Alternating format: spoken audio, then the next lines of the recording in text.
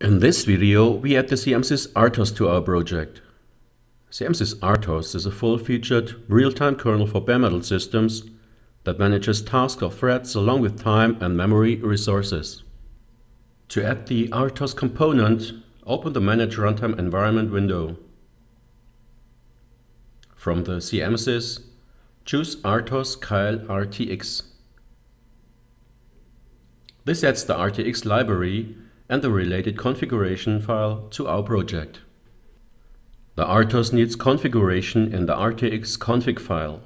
I can enter the settings directly in the C source file, but µVision offers a configuration wizard where these settings are shown as options. For now, I just configure the RTOS kernel timer, where I set the input clock to 168 MHz.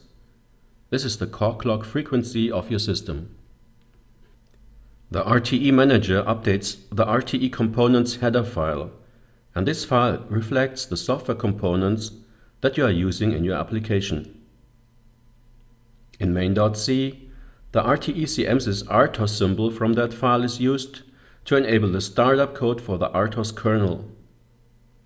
At the same time, the empty while loop is removed. Therefore, our main.c file does not need modifications to start the RTOS. Well, of course I want to do something with this RTOS kernel. We can use, for example, an RTOS timer to blink a LED. Again, we can choose a user code template. And for every key feature of the real-time kernel, a template is prepared. To blink a LED, we select the CMSIS RTOS timer. And this adds the file timer.c into my project. Let's take a look into this timer module. This module has a init timers function to start the timer. You can call this function everywhere in the application, but I'm adding this now to the main routine.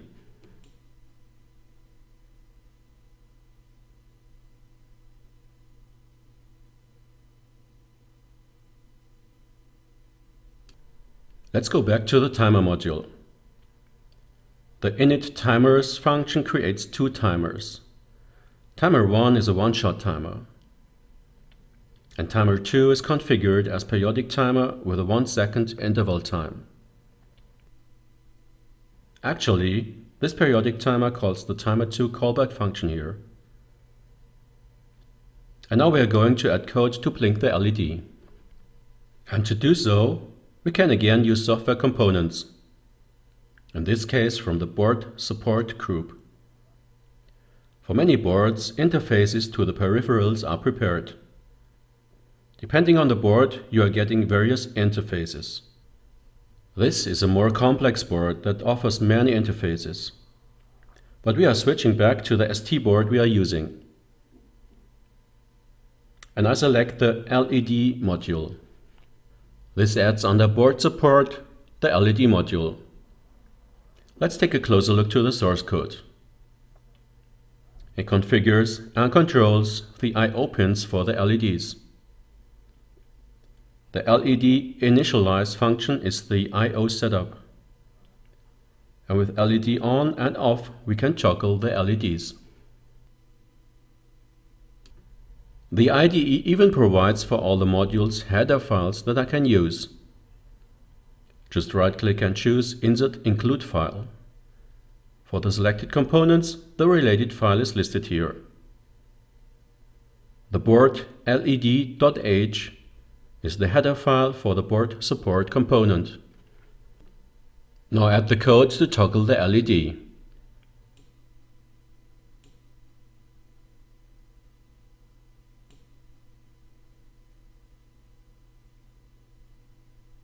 And in the main routine, initialize this LED module.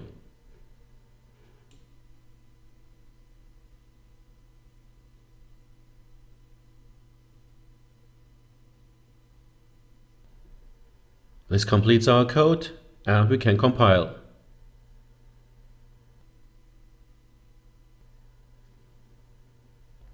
But obviously I did an error. The editor shows you this even before compiling, but I did not pay attention to it. Let's compile again.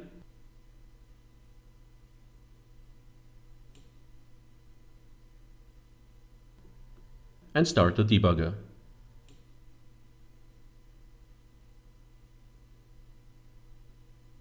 Now we verify our code. At the timer 2 callback, I set a breakpoint. And when I start my application, it stops at this breakpoint every second.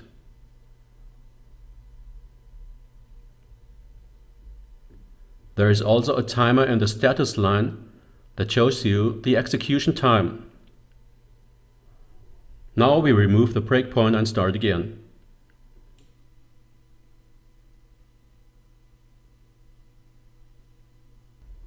On our board we now see the LED blinking periodically at a 1 second interval. Such a blinking LED is a good sanity check of a correct system setup. The debugger offers kernel awareness for the CMSIS RTOS. Open from the debug menu, OS Support, System and Thread Viewer. Under System, the general configuration settings of the RTOS kernel is shown. For example, you can see the tick timer setting of 1 millisecond. Under Threads, you can see all threads that are currently active. The state shows you the status of your thread. The OS timer thread that runs our timer callback functions and blinks the LED is currently in wait state and is waiting for a mailbox event. You can see also the priorities and other parameters such as stack load of the various threads. The ST Discovery Kit can be configured for using trace. When trace is configured and enabled, you may also use the OS Support Event Viewer window that shows you how the threads are executing over time. Again, you see all the threads that are running and you can identify when they are active. But as you can see, most of the time is spent in the idle thread that is executed when no other thread is active. Okay, I click on Stop in the Update screen and enable Task Info and Cursor. Next I click on one of the OS Timer Thread events. A red line appears. I place my mouse cursor over the next timer thread event. A window pops up and the delta time between the thread is confirming the 1 second interval with the value approached. This completes step 2 of our project. In the next step, I'm going to add the support for the USB memory stick to my application.